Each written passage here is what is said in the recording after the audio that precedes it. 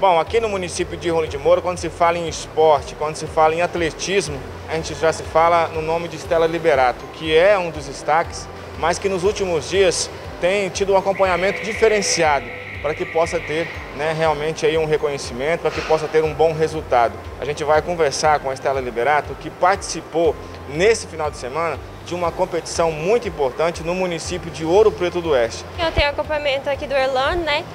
Que é ele me ajuda aqui no treinamento de força, né? Que é para eu me ajudar ali ter um fortalecimento melhor para que nas competições eu consiga dar o meu melhor. Essa corrida foi a do Morro da Embratel, né?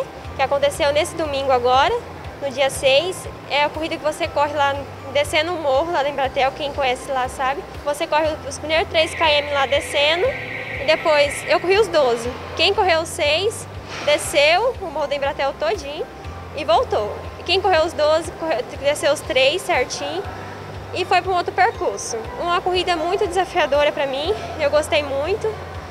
É um novo, como é que eu posso dizer, um novo desafio, desafio para mim, isso lá foi um desafio para mim, gostei bastante.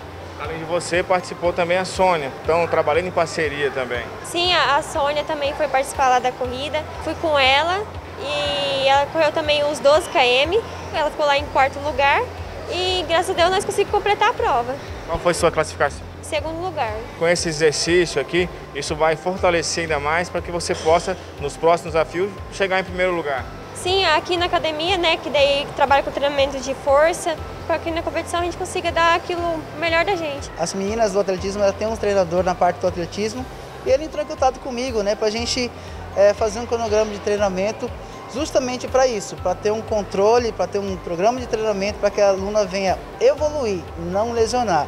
E assim sendo, ela lá com seu treinador na parte do atletismo e aqui comigo, é, sendo vistoriado, corrigindo os exercícios para que ela possa evoluir, é, um é uma coisa muito fundamental, não só para corredor, corredores, mas para todas as pessoas que precisam evoluir, seja em qualquer modalidade. A tradicional corrida e caminhada do Morro Embratel chegou na sua sétima edição.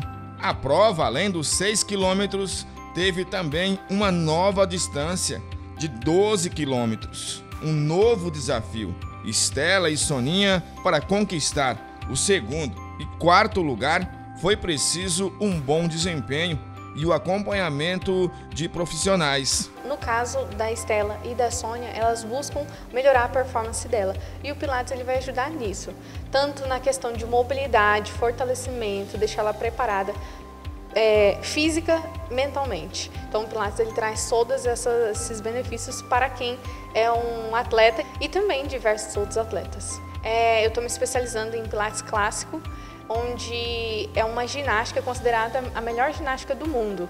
E a Estelinha e a Sônia estão já praticando o Pilates clássico e elas estão melhorando muito nessa questão. Então nós estamos trabalhando para melhorar a performance delas, para elas deslancharem e correrem cada vez mais. E cada pessoa é única, né? Então, por exemplo, as limitações que a Estela tem é diferente das que a Sônia tem.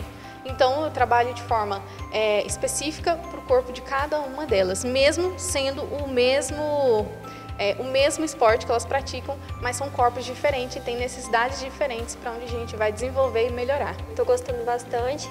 Ali, tem umas dificuldades ali que eu tenho, mas com a ajuda da Carrie eu vou, vou conseguir. Está superando. E estou superando, vai, vai me ajudar bastante. Já pode ver a diferença agora nessa, nessa competição. Sim, já deu para ver uma diferença boa, que a minha respiração melhorou bastante e tá, tá indo bem.